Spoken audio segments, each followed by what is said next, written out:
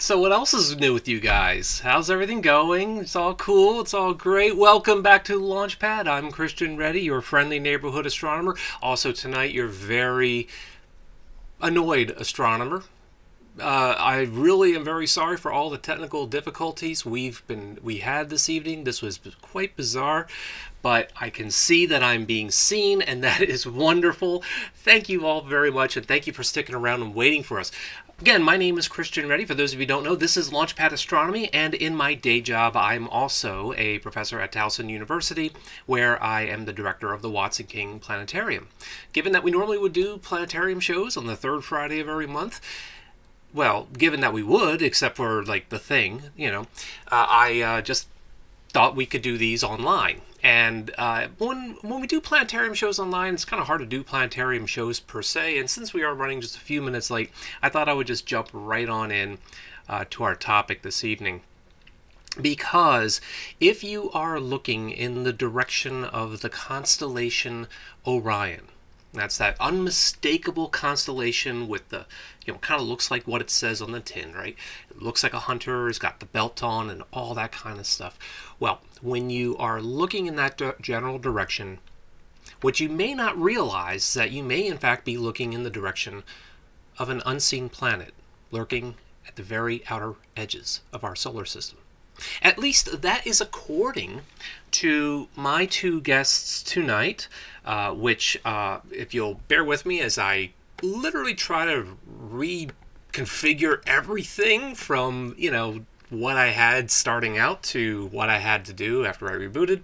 But my guests tonight are Dr. Mike Brown uh, at uh, Caltech University and uh, pr- uh, professor of uh, planetary astronomy, and Konstantin Batygin, uh, a theorist as well as an astrophysicist at Caltech. And by the way, Mike is also the author of How I Killed Pluto and Why It Had It Coming. Yes, ladies and gentlemen, it's that guy, Mike Brown and Konstantin Batygin. Also, the people who firmly believe that there is a thing as a ninth genuine bona fide planet, at least according to you two gentlemen. Gentlemen, good evening and welcome.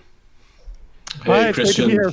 All right. So again, I'm going to be adjusting the audio levels and maybe the camera brightnesses as we have to uh, tonight. Again, apologies for all the uh, all the goof ups, but um, we've uh, what I what I've been I've been a bit of a fan of your work, and I shouldn't say a fan, but yeah, I've been interested in what you guys have been doing. I mean, it's uh, because you're claiming that there's a planet out there, and yes, I know people are saying there's Pluto's and ninth planet and so forth. But we're not talking about that. We're not talking about a dwarf planet. We are, in fact, or you are, in fact, describing or fairly convinced that there is a planet out there that has to be very substantial in mass and something way beyond maybe even a terrestrial sized planet. Um, I was wondering if you could tell tell us a little bit about how you came to this uh, hypothesis. Uh, Mike, yeah, I mean, or Tansi, we could talk with you. Yeah, start with you. I mean, look, well, it so, all started. go Mike, ahead. Go for it. Go ahead, Mike. Um, so, so it really, really all started with a, a couple of different disparate observations that other astronomers had made. Some of them actually we had made ourselves, uh, even starting back as early as the the 2003 discovery of the very very distant dwarf planet Sedna, which was in this very strange elongated orbit, sort of pulled away from uh, the rest of the the solar system, which was strange. We came up with some ideas on where it was. Then then other astronomers realized that there were uh, these objects which are called centaurs, which are things that come in close to the to the sun. Close means about the orbit of Jupiter. That's close to us, close to the sun, but then go really far away, and that this was potentially evidence for something strange, some maybe a planet in the outer solar system. Then some other astronomers uh, realized that there was some weird patterns going on in the outer part of the solar system, and and looking at all these things together, um, Konstantin and I realized what uh, what what finally put all those different pieces into to, to make them all make sense, we realized what was really going on is that there is a set of very distant Kuiper belt objects that are all on these elongated orbits going around the sun like this, and they're all kind of fanned off in one direction. And after a lot of time of trying really hard to convince ourselves that it was not because there's a planet out there, because that just seemed dumb. People, you know, everybody knows there's not another planet out out past Neptune.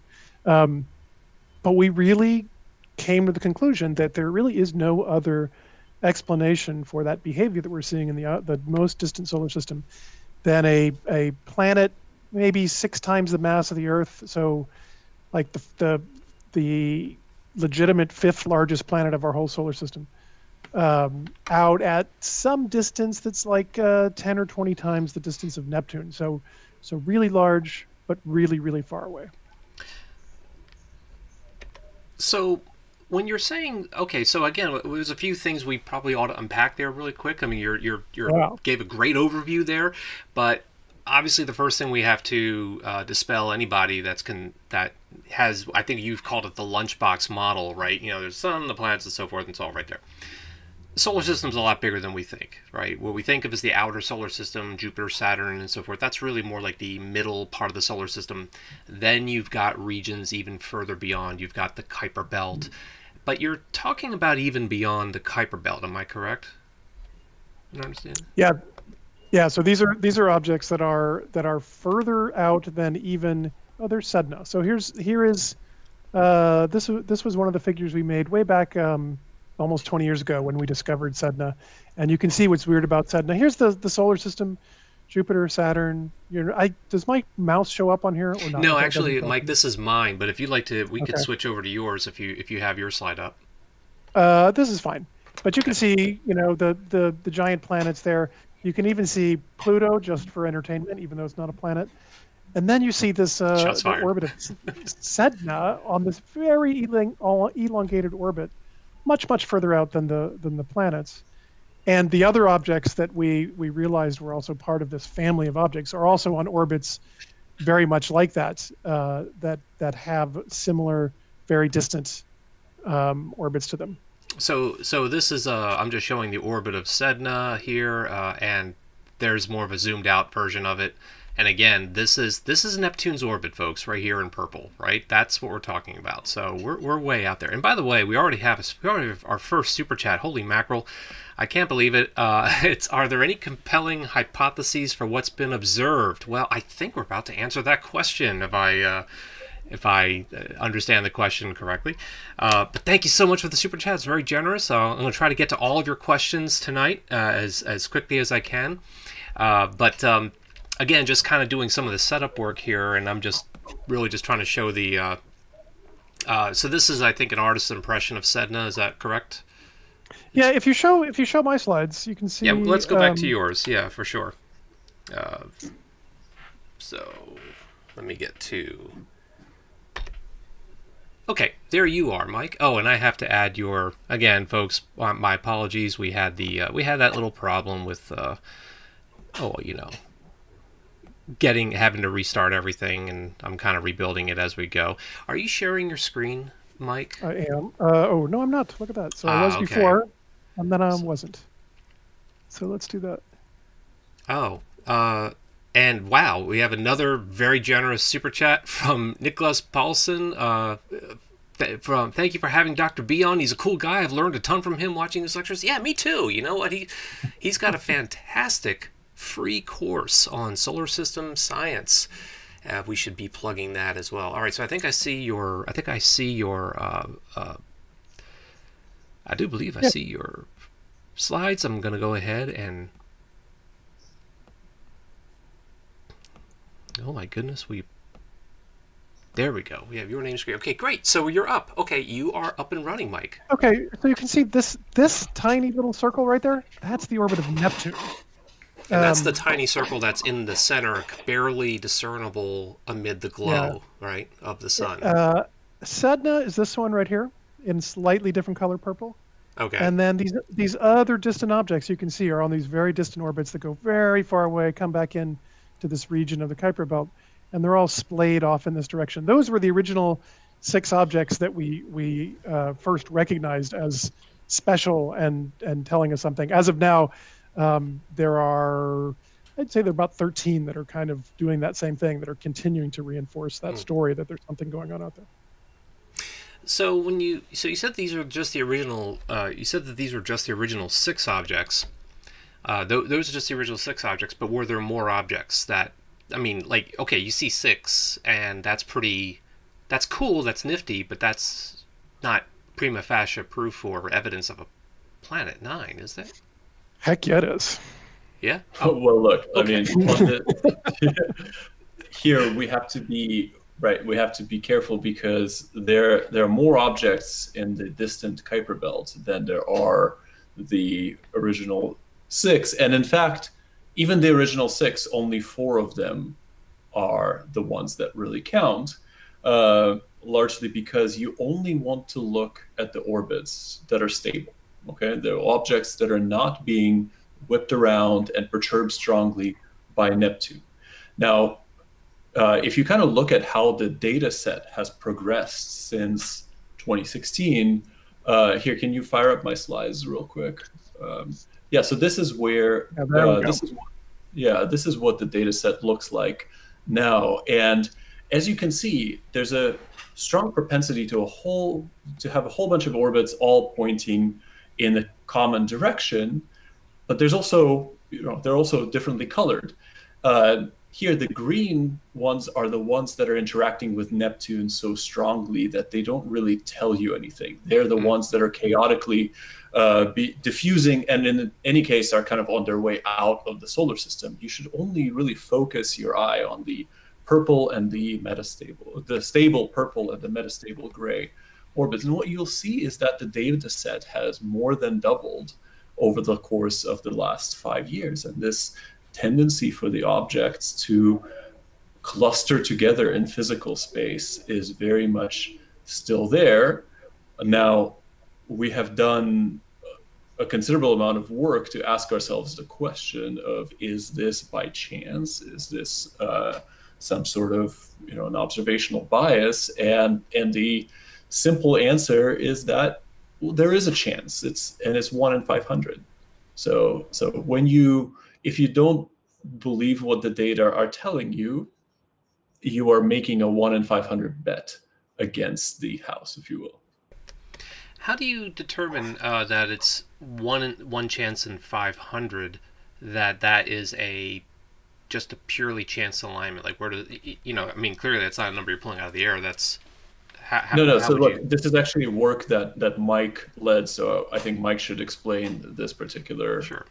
thing. It it it was a it was a substantial body of work. So the the the hard part is you you could imagine if if for some dumb reason astronomers only looked at the sky in one direction then all the objects you would find would be in that direction, and and nothing would be meaningful in that sense.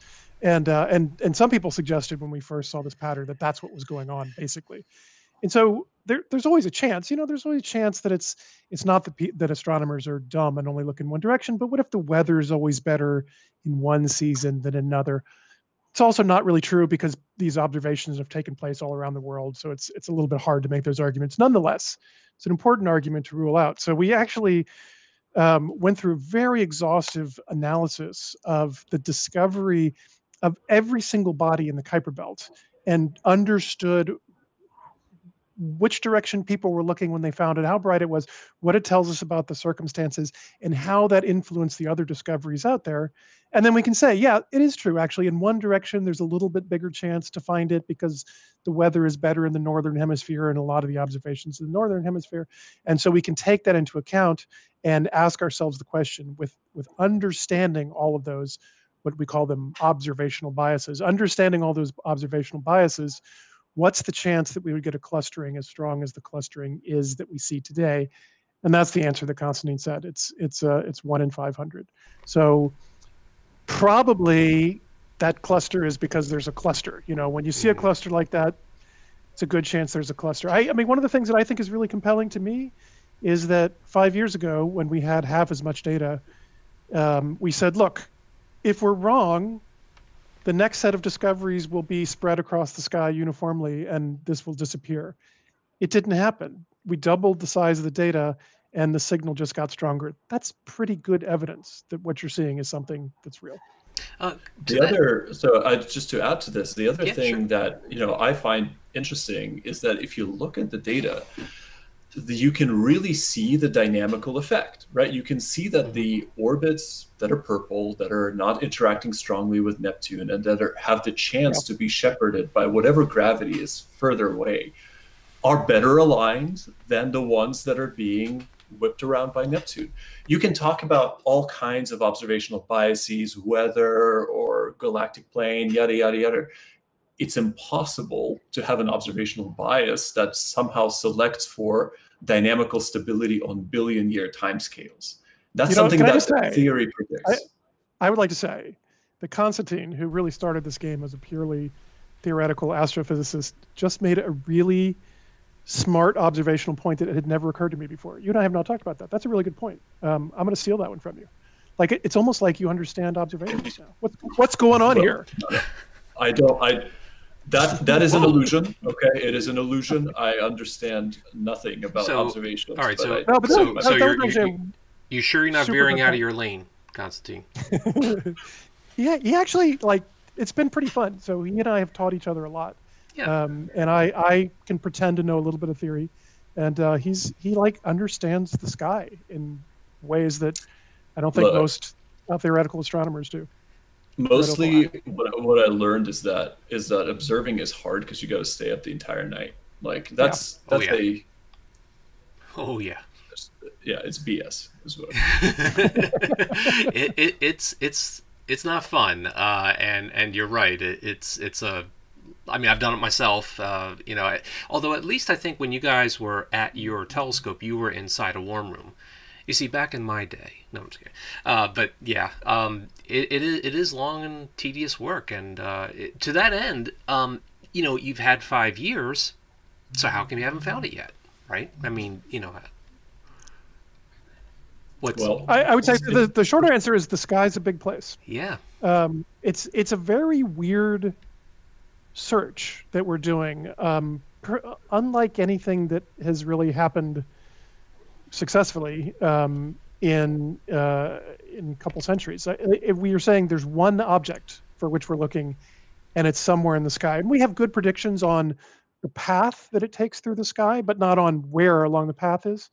And so, trying to find a single object in the sky means you have to you have to cover a lot of the sky and you have to cover it repeatedly and you have to get lucky to make sure that the thing you're looking for wasn't right next to a really bright star the day you the night you happen to look it's a it's a really difficult thing to find one single object in the sky when you don't know where it is that's faint We're and up, moving we're up all night. We're up all night to get lucky. That's what we do. It is but also, exactly true. look, you know, the other thing that I found out, uh, sort of doing, uh, doing this search together with Mike, is that you know, theory. You can do theory uh, anywhere, right? You can. In fact, it is better done in weird places.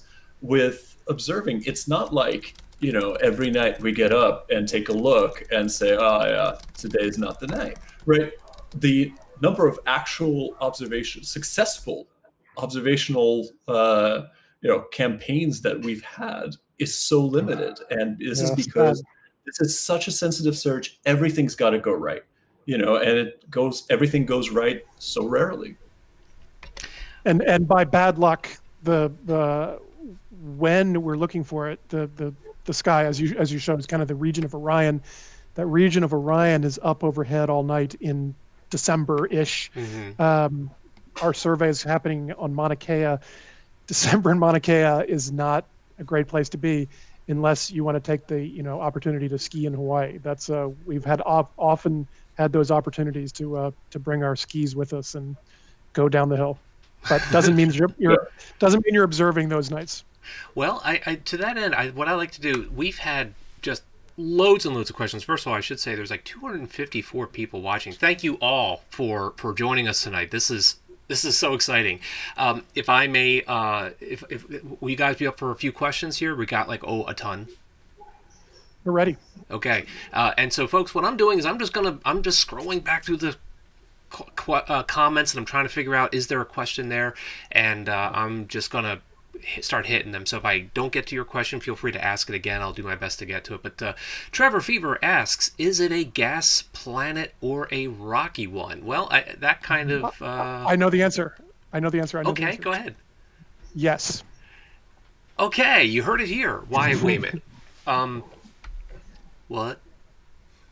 Yeah. Well, look, we we cannot say anything about the planet all we can say is the gravitational field and the orbit that it occupies. We have ways to calculate that. We can't say anything about the planet itself. It could be a burrito.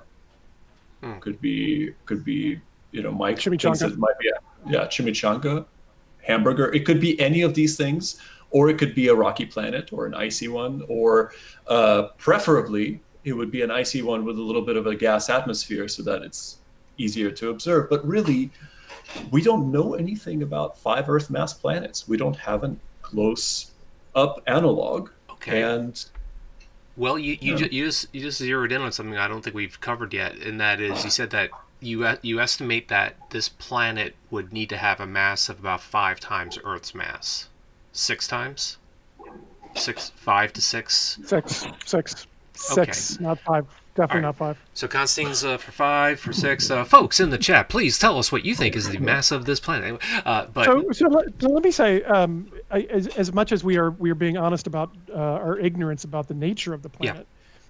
we do have we have our we have hypotheses about what it is likely to be, which are just informed by what we think about where it came from and the evolution of the solar system. Frequently, what we think about where things came from and the evolution is wrong, so you should take it all with a with a grain of salt. But uh, hmm our our our favorite hypothesis for how it got there is that it's a a planet much like Uranus or Neptune, formed in the same region as Uranus and Neptune, and got ejected to the outer parts of the solar system and has been hanging around there ever since then. So my guess is that it is a sort of a ice, icy, gassy planet like Uranus and Neptune. Um, but if I'm wrong about that guess, it would not surprise me all that much because we are frequently wrong about things we don't know about the solar system and, and planets in general.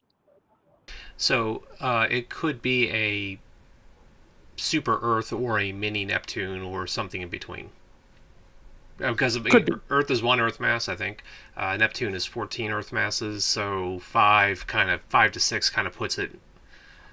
Yeah. Yeah. Yeah. I mean, look, the exciting thing about all this is that five Earth masses appears, a five Earth mass object appears to be a dominant outcome of the planet formation process throughout the galaxy. Most exoplanets that we found are sort of in that in that size and mass range. So um, this would be the closest thing we'll have to a window to kind of really zero in and study the most common type of planet in in the galaxy, the galaxy. right? Yeah, yeah. Mo- most of most of the planets out there are in this intermediate range, and we don't have anything like that nearby. Um, yeah, we do. Well, I mean nearby, nearby. Because how far are we talking? How how far? What is the semi-major axis of this planet? We could. Well, I mean, I mean okay, we, we so showed we showed the slide earlier. We have like Neptune's orbits way down here, and then you got this great big ellipse. Yeah. So drum roll, okay, please. So I was actually beating yeah. up on Konstantin, not Abdurmo. well, look, look, I mean, uh, uh, reads about this, uh, that it's hundreds of astronomical units. Uh, what we disagree about are the error bars, and uh, and I think I'm right. Um, but um, you know, I would venture a guess that the semi-major axis is something like 500. 500 uh, I'm okay with that. I'm, I'm less okay with. Me. I'm okay with 500. I'm okay with 500. All right. All right. Okay. All right. So, uh, so I guess I'm trying to go through a few of these other questions here. Uh, Wait, we had some we had some super questions, right? Are we supposed to answer the super questions? We we, we are. Uh, yeah, I would like to go ahead and give the super chat since they were generous enough to to donate. I want to yeah. give them a kind of a, a heads up here. Oh, well, okay. So, um, super chat, twenty dollars. Thank you so much for the super chat. Thank you for sharing time. Thanks for this. Regarding the potential formation of Planet Nine, what do you think of David Nezo? Well, Nezabornes, I messed that up. Theory about Pluto kicking it out of its orbit. Uh, look, so there's there's two different uh, models out there that talk about kicking things out of the solar system. The one that David has worked on, and, and we worked on as well back in, I guess, 2012. Yeah. Was it? We were young It was, it was a little long. yeah. Um, well, look, it's that that model almost certainly has nothing to do with Planet Nine, and here's why. Um, let me backtrack a little bit. The idea here is that the solar system formed in a more compact configuration, and then as the uh, gas went away, you know, during the kind of period of the solar system's transient instability, one planet could have been ejected. Could it have been Planet Nine? I think no, because during this time you have to form the Oort cloud. Okay, the the Oort cloud where the long period the really long period comets come from had to have formed during this uh, ejection of icy material into the distant realms. While this is happening, the solar system cannot be embedded in its birth cluster. Okay, because if it's there, then the, the passing stars in the birth cluster of the sun would have made the Oort cloud unbound. This means that there wouldn't have been the uh, perturbations from the passing stars to park Planet Nine into its orbit. So all of this goes to say that if uh, that the interactions, the ejection that would have produced Planet Nine, predated the Nesvorny ejected planet. So, I'm, I'm, not sure I buy that, but but okay. okay, well, you know, sounds uh, good let me let me uh let me bring up this next uh, super chat. Uh, let's see here. I why can't I? Ah, okay. Super chat from Rick. Thank you so much, Rick. I wonder if the Vera Rubin telescope will help to find Planet Nine. Mike seems extraordinarily skeptical, but uh, I'll go ahead, Mike, and would you mind sharing your thoughts as to why? My my prediction, if I had to bet money right now, um, I would bet that the Vera Rubin telescope finds Planet Nine. So so here's why. For for those who haven't been paying attention, the Vera Rubin telescope, uh, the one that used to be called the LSST, is the new big telescope that they're building in in uh, Chile. That's going to basically survey the entire sky once every approximately three nights um, with about a six meter telescope. There it is, and it is going to be fantastic. And so if if we have not found Planet Nine by the time this starts operating, Planet Nine is not going to be able to hide um, from from this machine, which is just going to be so amazing. It's it'll do a lot of different things, but for me, it's just it's going to be finding so many of the moving objects out there in the outer solar system, Planet Nine amongst them. So my hope is that we find it before then, because it'd be more fun to find it before then. But I, I like to think of, of uh, Vera Rubin as as the big back backstop that will make sure that Planet Nine gets found. And so I think that's going to be coming online. Uh, well, I know that they had to pause construction uh, due to the pandemic. So I don't know what the expected first light uh, science operations uh, dates are going to be. Uh, let me get to another one. Wow, we got another one from I spammed out. Oh, th- thanks, man. You guys are so generous. I, and and folks, listen. You don't have to. I'm trying to give them priority, but uh, you know, please is not to say. And if you're a student of mine, you're you're by definition broke. So don't don't do that. Um, but if this planet was both ejected from its initial orbit and is near other objects that aren't orbiting it, wouldn't that mean it would technically be a dwarf planet due to not having cleared its neighborhood? Ooh. I mean, no. It's, it's yeah. that is the correct answer. well, I think I think it's fair to say that um, clearing the neighborhood. I'll be honest, I'm I'm not a big fan of that of the wording there. What does it mean to clear something? But clearly, this object would have dynamically dominated its its region of the solar system. I mean, all of the and, other and the, orbits. The, the, only reason we know it exists is because of its dynamical dominance of that of the entire out of the solar system. It is, right. I would say, it is the most planety planet out there. It's dominating the largest area, uh, compare bigger than any other planet in the solar system. So it's it is by far the most planety. In, no in, ter- in terms of volume of space, yeah, it's dominating yeah. even more space than Jupiter is. Yeah. Wow, that's that's phenomenal. Uh, is Planet Nine the same object as the fifth giant planet in the Nice model? So we think no, but Mike Mike is less convinced of that negative uh, assessment than me. Want to just quickly Yeah. explain what the Nice model I mean, is? Just a quick so quick two It's, cent. it's actually the, the exact same question as the Nesvorny question. Those are those. Are I think so. same thing. Yeah, I I, I apologize so- for. but I would. So let me say though that I, you know, Konstantin knows what he's talking about, and I'm just a, a dumb astronomer, but I like to make up things sometimes. So I, I kind of wonder if his his story about the timeline couldn't be modified somehow. If you couldn't have things get out into an intermediate Oort cloud and then slowly, as the as the birth cluster is dissolving, that things can sort of dissolve away too. But you know, I just like to make things Yeah. up. So. I don't know. I don't know. so we don't know. I don't know. I mean, like, We, we but we don't know. I mean, po- possibly Yeah. they, they threw a, they threw a fifth planet in there, a fifth core in there, and they saw it get ejected. Um, you know, but that of course is a computer model. We don't know for sure. Uh, yeah, exactly. Uh, Hiroshi loves you. Thank you so much for the super chat. Uh, hi, Mike. Have you ever considered that if you hadn't killed Pluto and Eris with Planet X, you could have not only one but two Nobel prizes? Many greetings and love from Germany. Well, at least it was with love. uh, thanks, Hiroshi.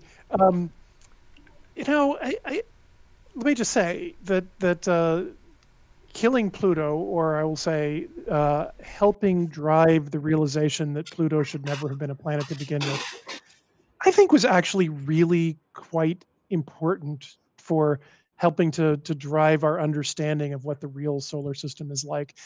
Uh, you know, it, it, would have been easy to have jumped up and down and argued that this thing that I discovered was a planet and many of the other things I discovered were the planet. But it, it would have felt fraudulent for a long time. So maybe there would have been two Nobel Prizes, um, but I would have felt pretty fraudulent about about both of them. And I have to say, just because you know I want to, is that uh, the the discoveries of these things in the outer solar system.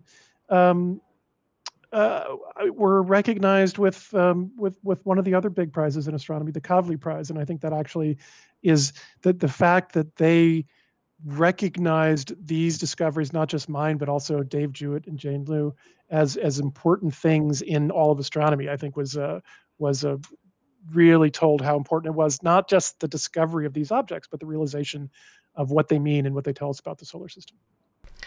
Uh, we have uh, another super chat from Martin Stallard, uh, two pounds. Thank you, Martin. Could Planet Nine be a rogue planet? Now, I, Martin, I'm not sure what you mean by rogue planet, but when I hear rogue planet, I think interstellar planet, just something that's wandering around out there.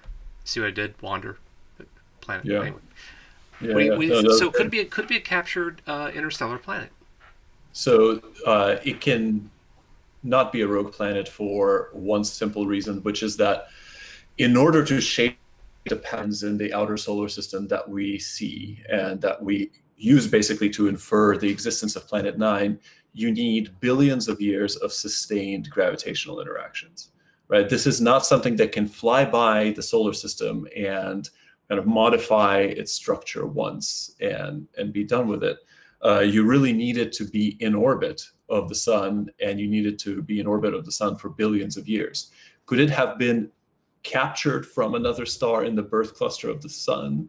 Uh, that's one really cool idea that uh, I actually like a lot, but the calculations uh, to date suggest that the the probability of that is negligible. Um, So you're saying it's possible? you know, who's ever yeah there's a chance there's a chance it's like that dumb and dumber you know, when But I, I, I, I like that idea too. It's a very compelling idea just because it's kind of fun. But but the hard- hard to make dynamical the the, the hard to make it- dynamical hard to make it chances are tricky, right?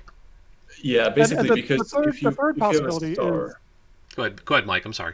I was going to say the, the, the third possibility is that it actually formed out there, um, which is not traditionally where we think things that size could have formed, and it's a little weird. And I don't think it's possible, um, but it's something we should not discard yet. I think.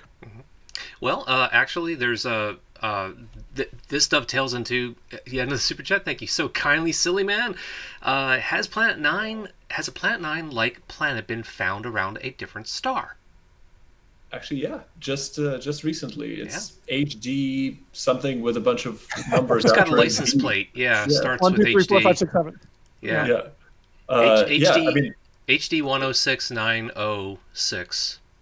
that's right. You're- Uh, That's you're it. Be- I made a video about it, and I kept got to memorizing that. So yeah, Okay. uh, but go ahead and tell us about it, or what you know it's about there. Mhm. It's what we know about it is that it's is that it's there, and the story for how it got there is basically the one that Mike uh, Mike discussed, right? The one where you know it's it's orbiting this binary star, so the binary star can easily eject things, and then if you do that while you're in the cluster with a bunch of other stars, you park orbit on a Planet Nine like. Um, you know, Planet Nine like trajectory, and so look, it's it's cool because it it's not of course it has nothing to do with planet 9 directly but it does tell you that objects like planet 9 are out there and that the- process that makes such objects might very much be generic I'm having a, a heart attack uh, because uh, I'm spammed out with a $100 super chat. Holy cannoli! oh my gosh, thank you. While I agree Pluto shouldn't be a shouldn't be a planet, I feel that IAU planet definition is embarrassingly shoddy work, and I don't think we are any closer to understanding solar system object classifications as a result of it. That means do no do more harm than than the end does good. Yeah. So, do you if you if you have a couple hours, I'm happy to rant about this. Um, Oh, but yeah, I, I don't I, I don't I don't actually disagree with um, much of uh, I, I'm spammed out's commentary. But I'll, I'll point out that it was it was intentionally it's not shoddy. It was it was intentionally uh, sort of messed up by the people who wanted to keep the possibility that Pluto might be classified as a planet. So that whole dwarf planet thing was was put in by pro Pluto people in the hopes that they could make dwarf planets planets. And so really the, the, the, the big problem is that there does not need to be a definition of the word planet. There is no definition Mhm. of any other term in all of astronomy. I mean, is there a definition of star? No, there's a concept that we all understand and we talk about. Galaxies, we know what they are. There's no IAU approved definition. The problem is there was a great um, uh, outcry from the public who wanted to know, you know, what is and what is not a planet. Textbooks need to write what is a planet, what's not a planet. So the astronomers felt obligated to do it. It's not easy to write down a definition, although it's easy to write down a concept. The concept is the large gravitationally dominant objects in the solar system are the planets. That's a concept. That's it's simple, and it's it's if you understand that, you can really understand what's going on in your planetary system. Once you say that, you can say, well, does this does this fit that concept? Pluto clearly does not fit that concept. Mhm. If you try to make a very lawyer-like definition, has to be round, has to be in orbit around the sun, has to clear its orbit. As soon as you make a lawyer-like definition, you'll get lawyers starting to come up with really stupid arguments. They're like, oh well, clearly there are near-Earth asteroids, so the Earth is not a planet. Ha ha ha! And you're like, no, dummy. Um, it's just that you're a lawyer and you're reading this in a lawyer-like way. It's just like understand the concept. Forget about the lawyer-like definition. Understand the concept. The concept matters for the physics, for understanding what's going on. The definition is a kind of a sad thing that I wish would go away. I, think there's there's really kind of like two uh, domains in which we can consider a planet. I mean, look, wh- when I look at Pluto, you know, I'm seeing something that's round. I'm seeing something that's going around the sun. It's got an atmosphere. It has active geology. It has glaciers.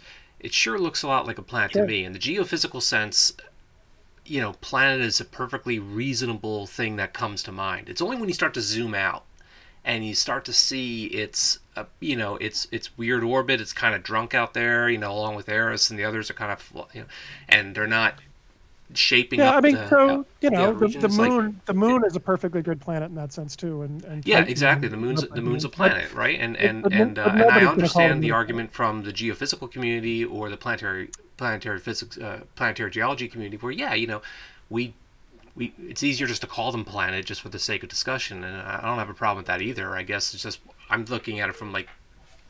Well, I think And I would, can I let me be let me also be clear that that that argument from the planetary geology community is from the same three people uh, all the time. It's not a there's there's no widespread Mm. planetary geophysics or planetary geology community that's wanting to change this definition of planet. It's really the same three guys who have been doing this for for 15 years and won't give up. But really, everybody else has moved on. We know it's not a planet. We understand what planets are. We understand the concept, and we're now willing to talk about why there are only eight. Maybe we're about to find nine planets in the solar system, instead of arguing about does this count or not, because that's just like the most uninteresting argument that you can spend your time making. Okay. All right. Well, thank you very much. I'm spanned out for that. Uh, let me get to another uh, question here. Uh, going back to searching for the planet, given the tough sensitivity requirements, would it be possible? This is from Matt Goodman. Thank you so much, Matt. To detect Planet Nine via an occultation imaging technique. That's very interesting. We found uh, we found an asteroid or two that way, haven't we? Uh, no. No. Oh, that's right. We found we found rings around asteroids. I'm sorry. That's the problem. And so the answer to that question is no, and that sort of tells you why it's hard. It's a great idea. We I mean, found rings that way. we found rings. Once you know, I'm, I'm actually really excited about occultations of, of, of many things, including Planet Nine. Once we find Planet Nine, what we'll do is we'll carefully track its orbit, and we will look ahead, and maybe if we're lucky, you know, in months to years, it will go in front of a star and and uh, occult that star. It's fantastic when it does because when it, as it goes in front, it lets us probe the atmosphere as it slowly blinks out. We get the size across. We see it come back. We get to see the atmosphere some more. Super exciting stuff. But it's really hard to even find a moment when it happens. And so if you imagine, like, how would you do it if you could if you could watch every star in the entire sky the whole time for a year? You might get lucky and at one moment for about you know five seconds it'll blink out because it's planet nine. It's a it's a tough way to actually find it but man it's going to be super once we find planet nine to do some occultations. Can't wait. Look if you had one moment would you capture it or would you let it slip? Boom, boom, boom, boom, boom, boom, boom.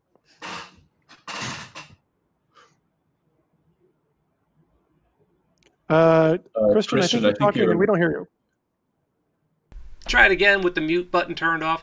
I turn, I try to mute myself because I'm coughing and you know and all that kind of stuff. No, I'm fine. It's just you know something went down the wrong pipe earlier.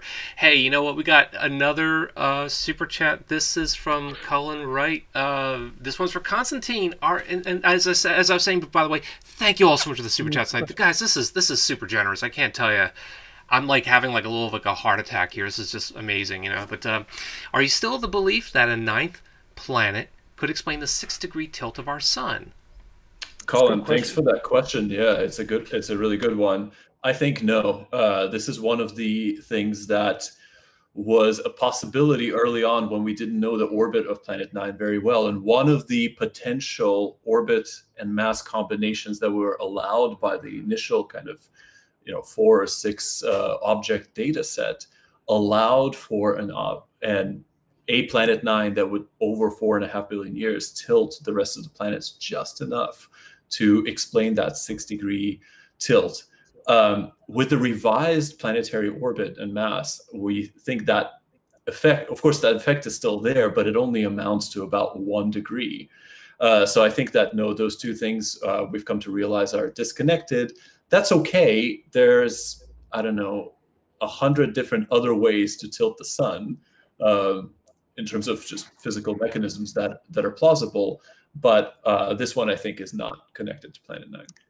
And it's really it's really too bad because I I remember the day we first had this realization. We were sitting in your office and we were sitting there with pencils. I'm like, no, look, if it's like this and it goes like this, and then it'll twist and it'll be like this, and you're like, no, it's not like this. I'm like, no, look at this, it's like this.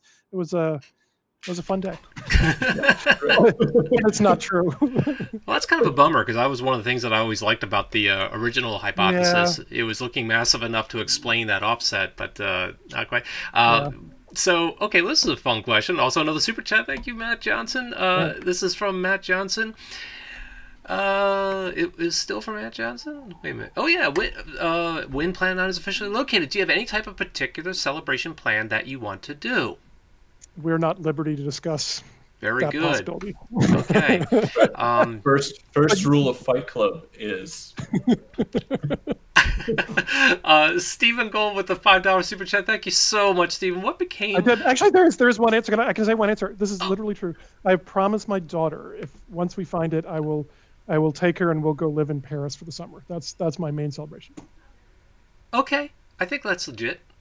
All right, Yeah. Planet Nine Paris, and if there's no Planet Nine, don't ever take it to Paris. Uh, yeah. Yeah, good. That's There's no planet. If there's no planet nine, we go to Moscow. Okay, there you go. Oh, very good. It's very good. Konstantin, you know about that, right? Uh, so, Stephen Gold, uh, what became of Robert S. Harrington's observation of Planet X in 1983? You Do you know I- that that's, one? that's a really good question. I And don't- I vaguely. I, I I think when I we do- were I- writing the the review article, we looked into this, right? yeah. I- I mean, the answer is there. There was nothing there. Um, there never was anything there, and there's still nothing there. Um, there were. I actually. I. It's. It's funny. I've. I've sort of put it out of my mind too. Like, what were those observations? Uh, so the the important point is, and this is this is, even though this sounds like it's not important, but it is important. There is no Planet X. Planet X. Planet X was a an actual hypothesis by Percival Lowell that there was a giant planet just beyond the orbit of Neptune that was perturbing the orbits of Uranus and Neptune. That is what Planet X is. We've sort of forgotten that and have, have started to use the word Planet X to mean anything out there, but it's the wrong way to use that that term. Planet X is Percival Lowell's planet that perturbs Uranus and Neptune, and we now know um, from this very nice paper written in 1989 um, by by Myles Standish that the that there there is no Planet X. There are no perturbations to Uranus and Neptune. Uranus and Neptune are exactly where they're supposed to be.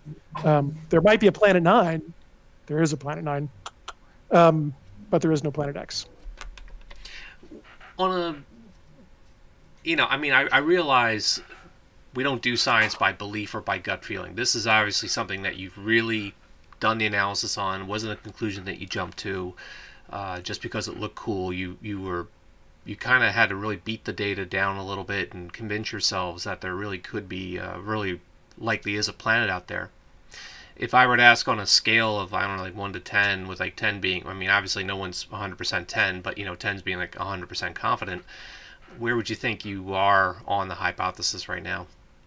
Just that it's there, like not what its mass is or its orbit, but what would you rate know. I yourself think at? maybe 499 out of 500. Okay, 499 out of five. Okay, all right, adjusting the I mean, scale. this is. I mean, look, it's this is a hard one to answer Yeah. because, um, at the end of the day, you know, we do we do what we can. We do the best uh, theoretical work, the best observational work that we can, and and keep going. I think, you know, uh, we don't really spend much time, you know, sitting around, you know, like, okay, so do you think it's really there? You know, nine out of ten or whatever, uh, because you know, you you just take you just go where the modeling, where the data takes you, and and that's it. You know, we're not really. Uh, I, I almost like to think that we're not really even uh, there to do it ourselves. We're just sort of you know being guided by the flow of, of you know, the incoming data data stream and the and the Yeah. simulations. You know, Fo- And I- the so- and I evidence. And I'll, I'll say um, uh, to reiterate, uh, and I would say with, with new discoveries, it's probably up to one in a thousand. There is there is a 900, 999 out of a thousand percent chance that something is affecting the outer solar system. Mhm.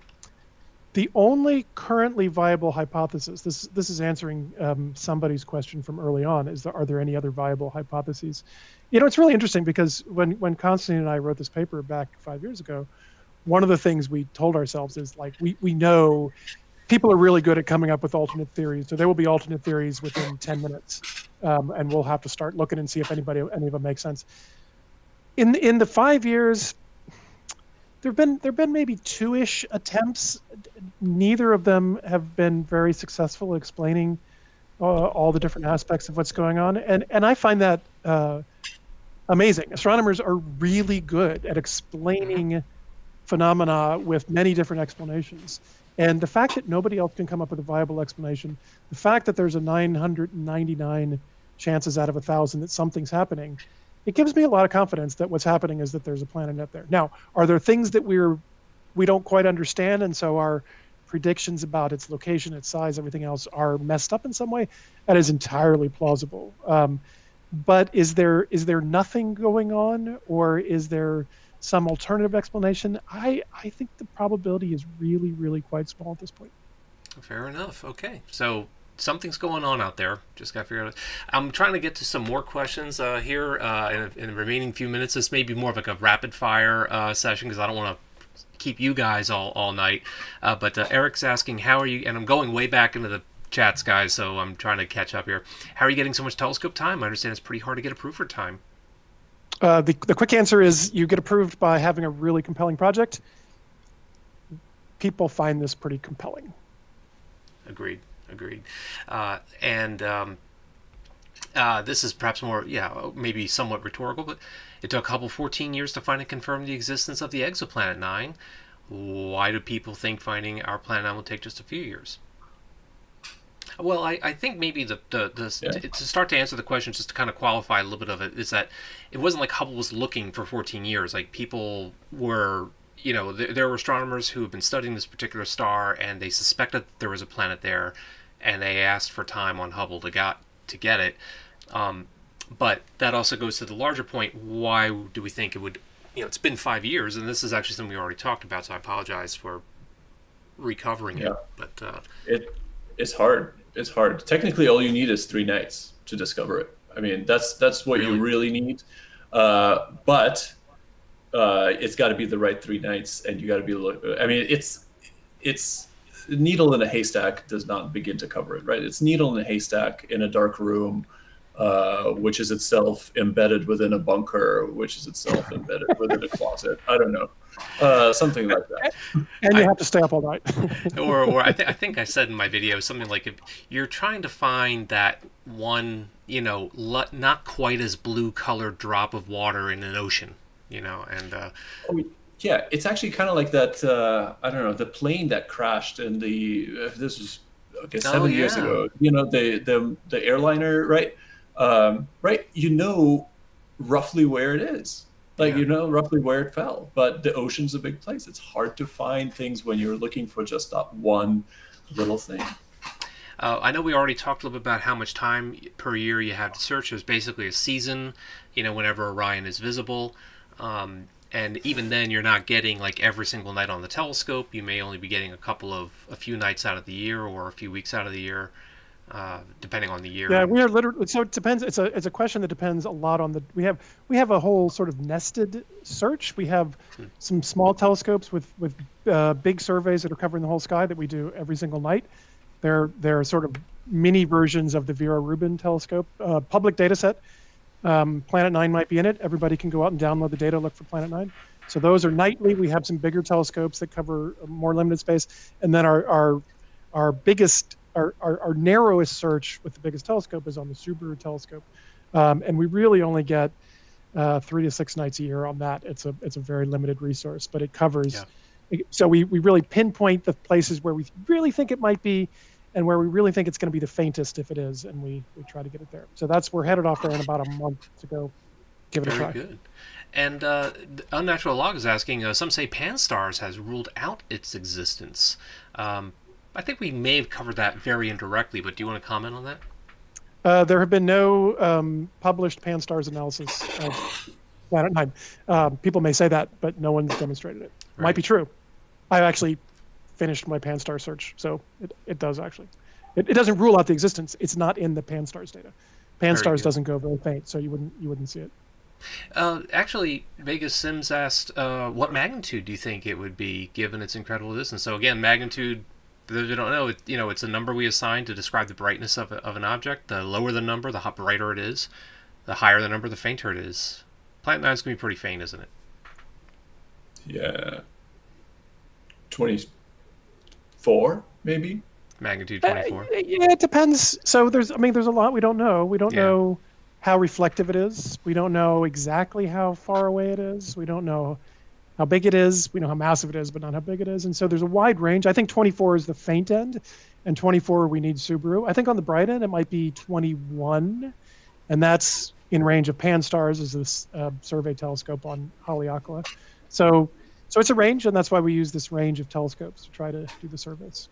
Turn up. And I think uh, Konstantin uh, Lee asked, uh, "Is it this may be best directed to you? I don't know, but do you think it could have played a, a role in the drop off in the density of the Kuiper belt? At 44 AU, it's there's not much there. We call it the Kuiper belt fault drop off. Uh, yeah. Do you think? Yeah, I think uh, I think the two things really are are unrelated. Um, the better explanation for the drop off at 44 AU is simply that that's where the solar nebula, the protosolar nebula, just ended, and there are a ton of there are a bunch of different ways to truncate the uh, the nebula. One way to do it is through external photoevaporation, and so really, I think uh, Planet Nine, uh, Planet Nine has nothing to do with with the uh, with the 44 AU uh, drop off. Yeah. Okay, fair enough. Uh, and try to get to a couple more of these uh, really quick here. I'm. We also started late. You guys okay for a couple more minutes? Uh, okay, we yeah. spill over for a few, just a few minutes, and then thanks. Um, uh, let me. Uh, let's see if I can get on to another question that I haven't really. We haven't really uh, gotten to it. Um, well, uh, yours truly was asking how does the telescope see the whole sky? It doesn't really see the whole sky. You are choosing a region of the sky to look in based on your. It's about if you if you take your hand at about this distance. Yeah. And make a big circle. That's about how much we see at one time. Okay. And that's that's tough because that yeah. means you you got it's got a long time to cover the whole sky systematically like we, should, we should try making a bigger circle with our hands next time because we keep bigger obscuring. Hand, Would that so help? the trick is the trick is to have shorter arms.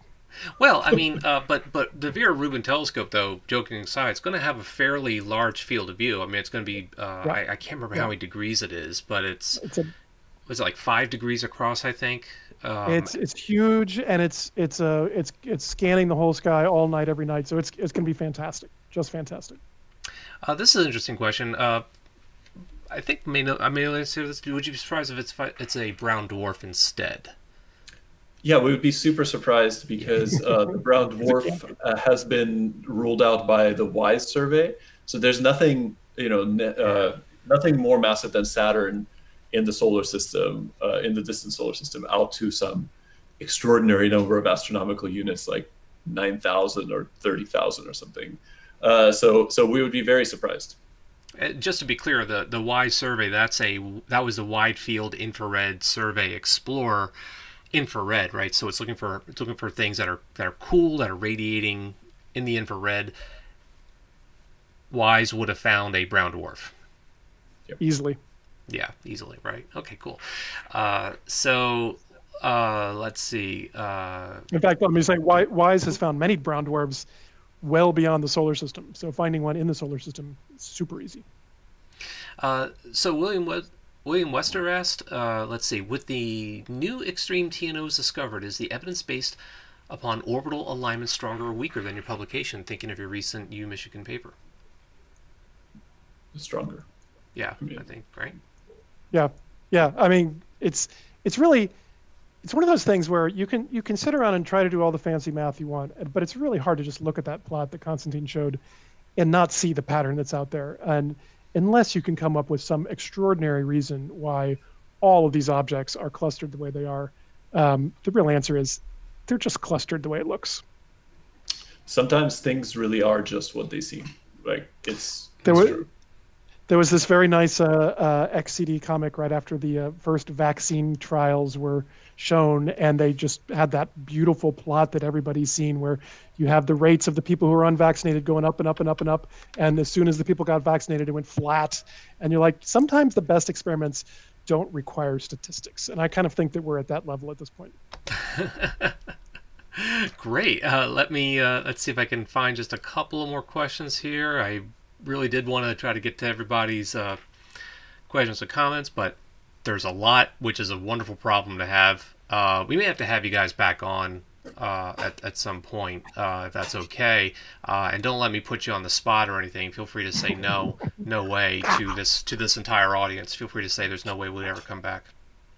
Okay, good. So we'll have you back next week. And uh, the um, uh, well, let's see. I think we are yeah okay so we are we are coming up a little bit toward the end of our of our hour here but what i'll what i'll just uh i like to ask you guys a question. You know i did a video about this uh, i did a video about this topic uh, some time ago and um I, I got a lot of comments on it, and actually, we're going back to like 2018. It was a long time ago, and I and I got a number of comments on it. And uh, one of the comments I, I, never really had a good response for, and I was wondering if you could help me out with it. Uh, it says uh, we we already know uh, where all you rocket scientists stand. You're all a pack of lying government whores who sold your soul to Satan for breadcrumbs. You're going to cause the death of millions of your friends and neighbors, and you'll be covered with their blood the day you are standing in. Yeah, I mean, Man, I thought it, the sad yeah. thing is, um, was the response smart, to that Rand Paul 2018 right or i would say that the, the, sad thing is if, if, we did we, we sold ourselves to the government and it was literally for breadcrumbs. I mean really we probably could have done better but but all we got was the breadcrumbs. Like, well but they in, in, in, fairness in fairness guys they were they had nice they had a little bit of basil and olive oil in it. They were it was they were good breadcrumbs. they were good they were very good. Kind of like almost like almost like croutons, like the kind you get. Okay. Uh, so anyway, I thought it ended up on on that note. Uh, yeah. Hey, folks, this has just been uh, an amazing conversation, and once again, I hope I was able to get to as many of these questions, these wonderful questions, as I could. Uh, but I do want to thank again my guests, Mike Brown and Konstantin Batygin, uh, the the hunter, the the astronomer and hunters of Planet Nine. Um, gents, I really hope you find it. I mean, I think it would be an, a remarkable, a remarkable discovery. I think they're high fiving each other, and uh, as you could see, these are the very, uh, you know, um, yeah, this is the, this is this is Nobel material right here. What you're looking at, folks. This is what we got here. So, anyway, uh, I do want to just uh, close out by saying thank you all once again uh, for coming on tonight. And I especially want to give a huge thanks to my Patreon supporters for their generous support in helping to keep Launchpad Astronomy, plus all the super chats. All that helps to keep the lights on around here, and I do appreciate that. I also want to say a huge thanks to Michael Dowling, Stephen J. Morgan, and Morrison Wild for their cosmological level support, and to Anna and to Travis Graham for their intergalactic level support. Now, if you would like to help support Launchpad for the price of a cup of coffee every month, you know, or maybe two cups, just check out my Patreon page. It's right over there. And if you'd like to join me on this journey through this amazing universe of ours, well, please do make sure that you subscribe and ring that notification bell so that you don't miss out on any new videos. Until next time, my friends, stay home, stay healthy, and please always stay curious, my friends. Good night.